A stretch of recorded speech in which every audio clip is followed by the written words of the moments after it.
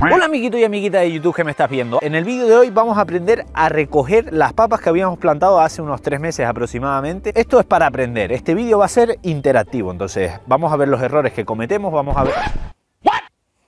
Graba eso.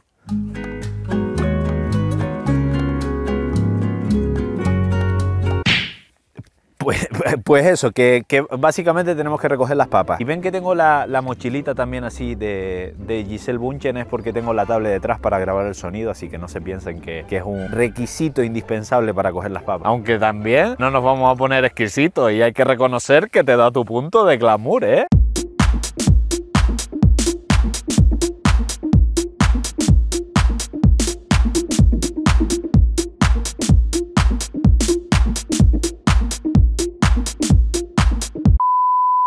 ¿Cómo sabemos que tenemos que recoger estas papas? Pues muy fácil. Vemos que la parte verde de la, de la papa ya se empieza a secar. Entonces los tubérculos, las papitas que nos vamos a comer, están en la tierra ya on point. Antes de empezar tenemos que tener en cuenta que algunas de las papas que nos vamos a encontrar van a estar con la parte verde bastante grande, bastante crecida. Entonces a la hora de meter la asada en la tierra para, para sacar las papas, lo que podemos encontrar es problemas porque no vemos bien el, el surco. En este caso no hay problema porque ya están montones secas. Pero lo que tenemos que hacer en el caso de que hubieran muchas papas verdes, pues básicamente es coger un cuchillo, que no tengo aquí a mano, coger un cuchillo y partir los troncos. Esto lo que nos permite es ver dónde está la papa en el suelo y a la hora de yo clavar la asada no voy a partir tanta papa porque sé dónde está el tallo. No sé si me estoy explicando bien, pero vamos. Imagínense que todo esto estuviera de verde, cortamos tallos y ya sabemos dónde están los troncos y así podemos meter la asada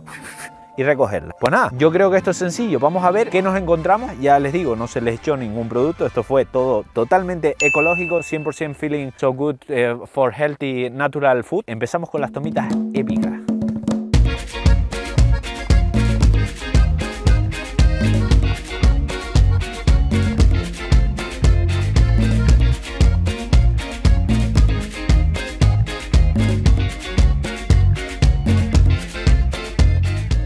Bueno, amiguitos, ¿qué les puedo decir? Hay papas de distintos colores, como están viendo, y es porque me gustaban los Malteser, entonces dije, bueno, voy a plantar papas Malteser.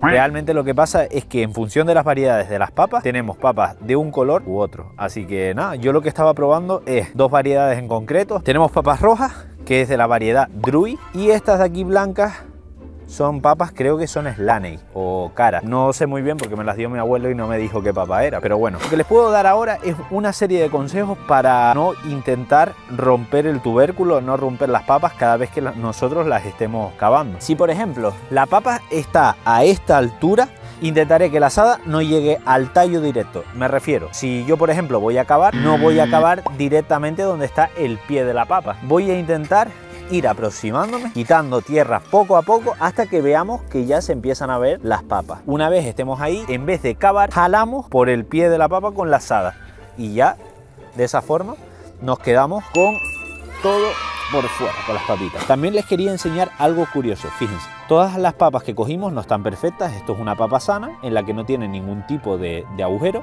y en este caso sí. Y ustedes dirán, ¿qué ha pasado aquí? ¿Por qué quedó esta papa así, taladrada, que parece un queso? Pues eso es porque entró una plaga. ¿Qué plaga es? Pueden ser varias. Normalmente las que afectan a la papa están entre la lagarta, aquí la llamamos lagarta, es un gusanito que se va comiendo todo, todo esto por la papa, va haciendo esta especie de, de tuberías, esto no es comercial porque no la podemos aprovechar. Lo que tenemos que hacer con esta papa es retirarlas, pero no tirarlas al suelo y que queden ahí. ¿Por qué? Porque si hay huevo del bichito que hizo esto, pues lo volvemos a incorporar al suelo. Entonces lo que tenemos que hacer es meterlo en una bolsa y retirar el material una vez acabemos para que ya después, si volvemos a plantar, no nos pase lo mismo. Miren, lo que le estaba hablando son los causantes de taladrar la papa y dejarlo como un queso estas señoritas de aquí. La boca de estos gusanitos tienen ahí como unas pincitas que va haciendo pa, pa, pa, pa, pa, pa, pa. Se van comiendo la papa y hacen estos agujeros. Fíjense, aquí ya se, se abrió y está intentando con la cabeza, no sé si se fijan,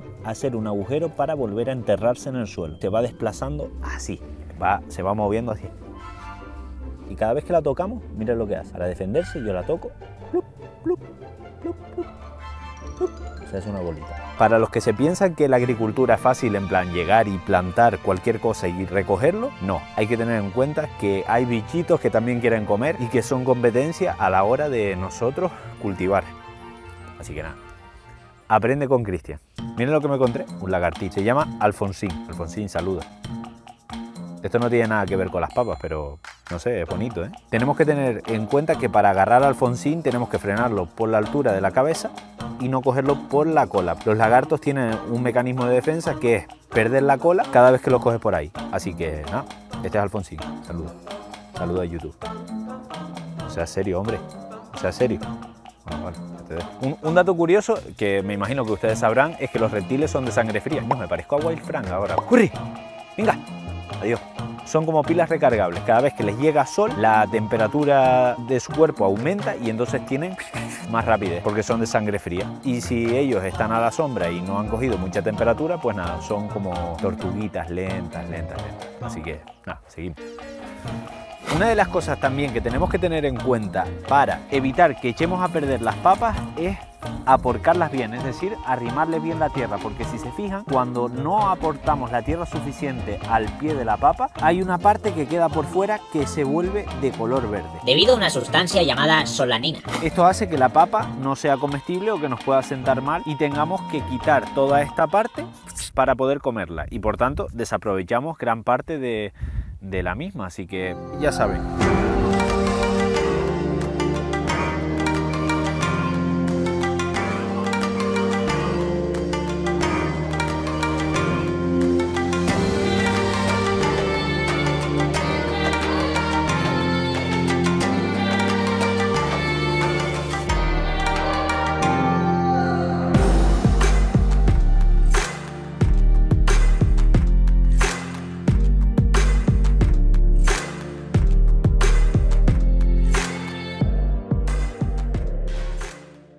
Chicos, hasta aquí el vídeo de hoy. Espero que les haya gustado un montón. Me encanta poner la voz de gamer. La verdad es que me vengo arriba. Este fue el resultado final. Eh, cogimos una cajita de más de, de, 10 kilos de peso y teniendo en cuenta que plantamos el fondo de una caja, pues la verdad es que tuvimos bastante, recogimos bastante, pese a todos los problemas que pudimos ver. Bueno, yo creo que es un repaso bastante útil y nada, espero que les haya gustado, que se suscriban, Ah, que me trago. Que le den me gusta al vídeo si les gustó. Pueden dejar en los comentarios si creen que, si, que, si creen que aprendieron con el vídeo. Y nada, que muchísimas gracias por su tiempo y nos vemos en el próximo vídeo. Chao, sean felices. Te puedes suscribir para seguir siendo feliz. No pases esta canción que mola yo Si no puede ser que te atropelle un camión yo. Ajá, ajá, ajá. Soy el rey de la rima y la grima.